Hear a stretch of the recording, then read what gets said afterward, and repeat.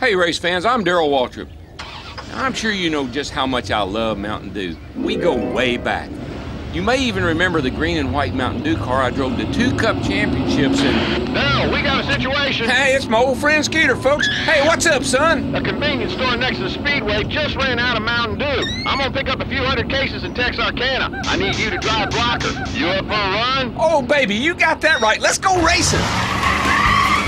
Breaker one nine, breaker one nine. Oh, go ahead there, Skeeter. Son, you got a Smokey looking to cook your goose. Uh, he's gonna need a few more horses to stop this dude train. Hey, Smokey, you got your ears on? Hearing every word you're saying, DW. Well, I just crossed the state line. I'm out of your jurisdiction. You scum bum, how to barbecue your... Hey, Skeeter, I just played some tailpipe music for that Smokey. Looks like them good people gonna get their dude. That's all for now, folks. I'm Darrell Waltrip, and I'm fueled by Dew. Mountain Dew.